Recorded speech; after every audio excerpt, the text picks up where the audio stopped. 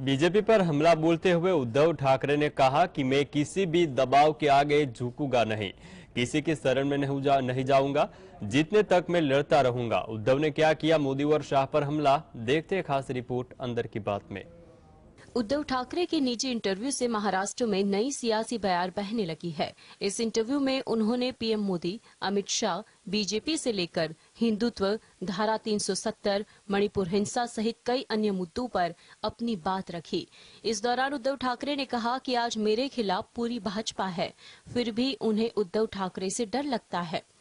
उन्होंने कहा कि उद्धव ठाकरे कोई अकेला व्यक्ति नहीं। उद्धव ठाकरे मतलब बाला साहिब का विचार है। पीएम मोदी और अमित शाह पर निशाना साधते उद्धव ठाकरे ने कहा कि एक समय शिवसेना प्रमुख बाला साहिब ने उन दोनों को बचाया था। शायद उनके एहसान का बदला वे इस तरह चुका रहे हैं और मुझे खत्म करने की कोशिश कर रहे हैं। शायद उनको ऐसा करने में आनंद मिल रहा होगा। वे चाहे तो मुझे खत्म कर दे। हम भी देखते हैं मेरे पिता का आशीर्वाद, जनता का संपूर्ण साथ, सहयोग और ताकत मेरे पीछे है। वहीं शिवसेना में फूट को लेकर उन्होंने कहा कि शिवसेना से गद्दारी और बेईमानी कर लोग बड़े पैमाने पर बाहर निकल गए। हर किसी का अपना अपना तरीका होता है। मैं शिवसेना प्रमुख बाला साहिब के मार्ग पर चलूँगा। Bureau report, GSTV.